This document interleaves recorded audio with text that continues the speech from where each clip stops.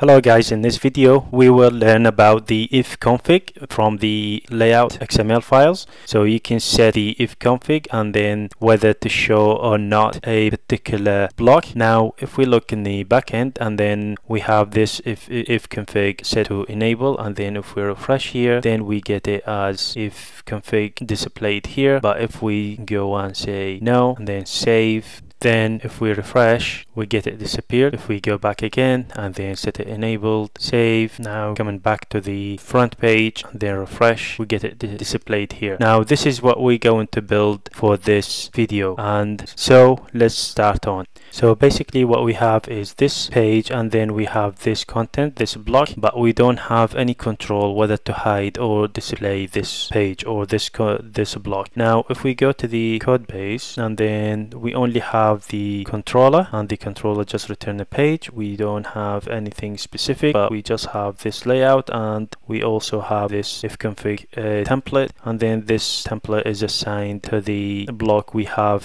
we have seen here the if config example. Now we need to have the ability to say whether we can display or hide this block by configuration. So we have control over displaying this block. We can do this by just do if statement around here and then whether to display or not. But this is just a content. It's not this is it's not hiding the block. What we want to do is to hide the block as a whole when we set the configuration to no. But if we set it to yes which is enabled then we display the block now let's go ahead and start this we go to etc and then inside etc we will need the acl file acl file stands for the resource so you give a resources. So acl.xml tcl so what we're going to do here is training.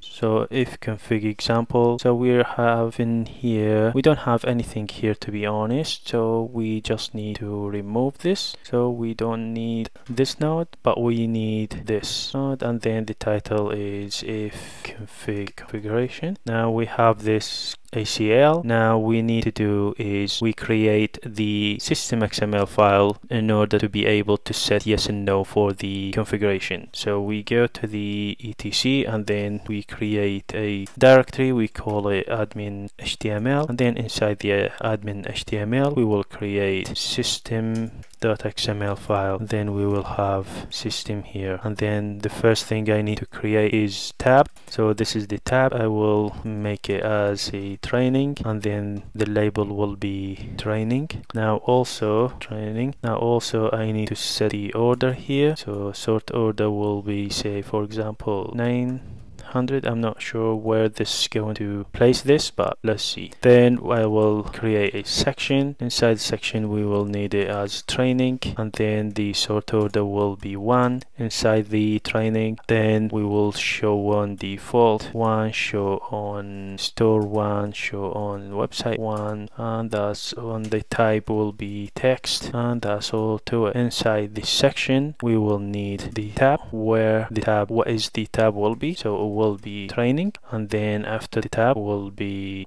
after the tab we will need the label. So the label will be training as well.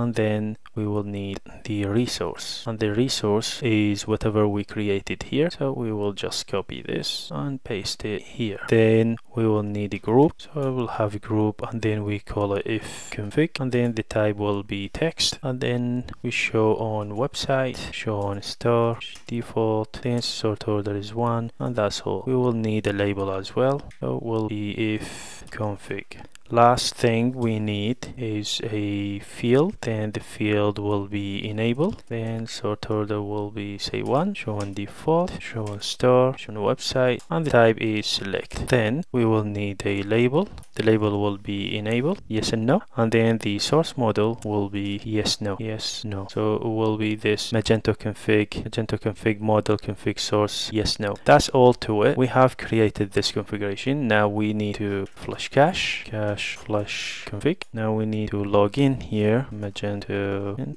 we are in the admin now so we will go stores configurations then from the config we will need to see training and then from the training we have training and then this is the if config and then we can set yes and no. But now this is not integrated into the layout so the last thing we need to do here we need to look at the module and then we go to view layout the if config index layout and then we have a if config attribute here and then we'll say training and then if config and then enable. So whatever comes from here has if config here whatever comes from here as yes or no then will affect the display of this of this block. So let's go ahead here and then we will flush layout as well. Put layout. Then we flush the config and layout cache. Now we set it to no. We should see this disappear. If it is no now if we refresh. It's gone. Now if we go and set it yes then save config. It's not coming back because we need to flush cache. So we will flush config and then block HTML. Now we go back here. It's not showing. This is because we need to inspect here the element and then copy this. And probably there is some typo. And then we make it like this should refresh. So it could be typo before and since we copied and paste there's no chance for errors. Now if we go again and then disable it we set it to no to no. It's gone. If we go back and then set it to yes then it's coming back. And this is mainly using the if config in the layout xml file and then by setting the configuration. I think this is it. Please like and subscribe if you like the video and i see you next time